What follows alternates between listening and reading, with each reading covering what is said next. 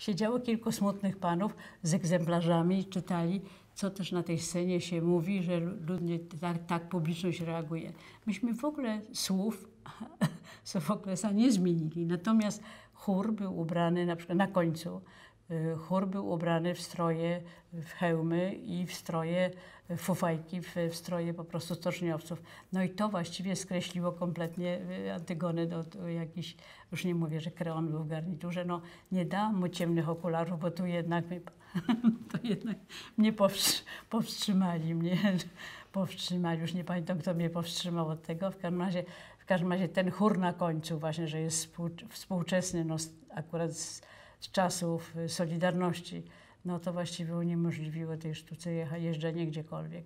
Jak robiliśmy szewców z Jarockim, to w tym, y, w tym, jak oni się robią bogaci już w drugim akcie, to postawiłam palmę i jakieś poduszki czerwone takie dałam. Przeszła cenzura, awantura potworna, że palma nie może być, ani poduszek czerwonych. Ja mówię, o co chodzi? No, poduszka, no tylko, żeby bez powłoczki.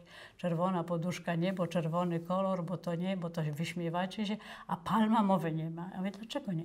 Bo w każdym komitecie wojewódzkim stała palma, okazało się, ale ja w życiu nie byłam w żadnym komitecie wojewódzkim, w związku z tym nie mogłam tego widzieć, ale palma się okazała być niecenzuralna.